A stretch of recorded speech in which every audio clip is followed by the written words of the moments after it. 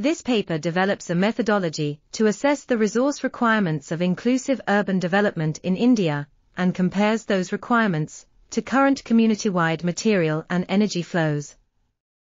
The study finds that 1% to 6% of households lack electricity, 14% to 71% use electricity below the benchmark, 4% to 16% lack structurally sound housing, 50% to 75% live in floor area less than the benchmark, 10% to 65% lack clean cooking fuel, and 6% to 60% lack connection to a sewerage system.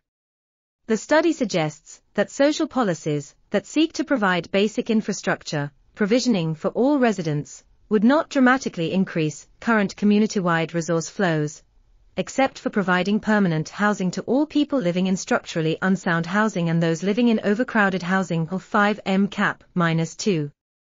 This article was authored by Ajay Singh Nagpure, Mark Reiner, and Anu Ramaswami. We are RTCL.TV, links in the description below.